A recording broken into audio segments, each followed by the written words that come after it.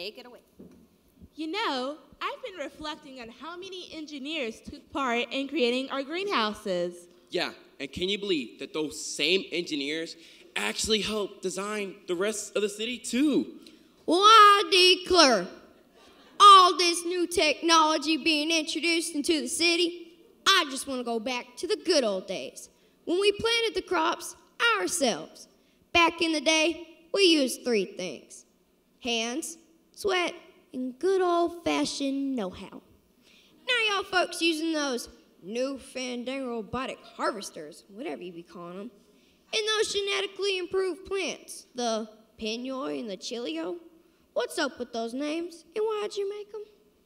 Excuse me, mister. I believe we haven't been introduced yet. I do apologize. Got all fired up and forgot to introduce myself. I'm Farmer Jeb Jones from Sunnybrook Farms, past Eaton Holler. Had to come to the big city, see what all this fussing was about. Nice to meet you, Jeb. I'm Zaria Ben, and this is Xavier Zinge. I'm the head engineer, and Xavier's the head scientist that helped to design this masterpiece of modern technology. First of all, the Pinoy plant is a genetically combined pinto and soybean. The chilio is a genetically combined tomato and chili pepper plant. Sounds a little risky, doing all these plant combinations of sorts. Are you sure folks really eat them? Actually, the Pinoy tastes like a pinto bean, but retained all the benefits of a pinto and soybean.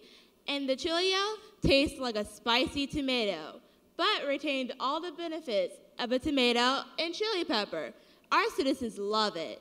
Well, now, not everyone has a hankering for a spicy tomato, and robots sounds awfully expensive.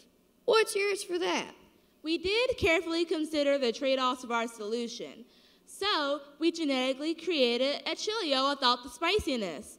And we offset the cost by generating excess energy using wind turbines. And we offer tax breaks to our investors. Traditionally, these plants would be grown in rural farms.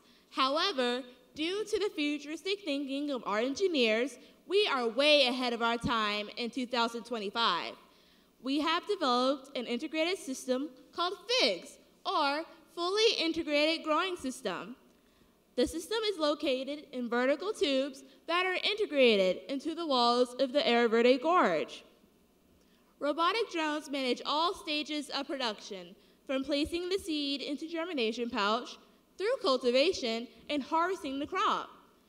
Our merry-go-round concept allows plants to take maximum advantage of natural sunlight as they are revolved continuously inside the tubes. Figs?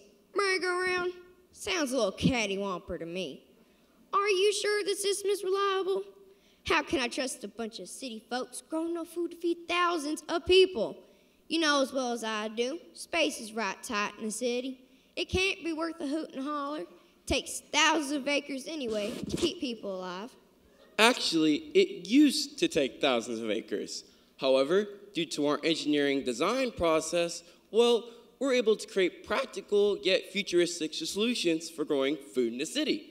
This system includes defining the problem, which is how to grow food in an urban environment, learning the specs, such as the solution, the technology, the infrastructure needed, also identifying key elements, such as energy efficient solutions, and also identifying the risk, benefits, and trade-offs of the solution.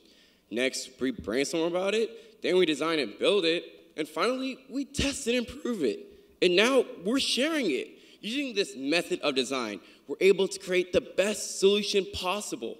Also, in our growing tubes, we have developed system integration using sunlight imitating LED lights, which are interspersed between the plant leaves. And since each leaf receives maximum lighting, they receive maximum benefits from vitamins, minerals, and they actually grow 10 times faster than any traditional growing system. Also, sensors are strategically placed throughout the growing tubes, and they're all linked to the master control system. These sensors regulate sunlight, humidity, water, nutrients, fresh air, and temperature levels. For an example, if a sensor detects less than optimal light needed, then the LED intensity will be increased in that quadrant. And oh yeah, I almost forgot. We don't use soil, so all the plants are suspended and all the roots are sprayed with a mist that contains all the nutrients and enzymes needed for ideal growth. Well, have you considered the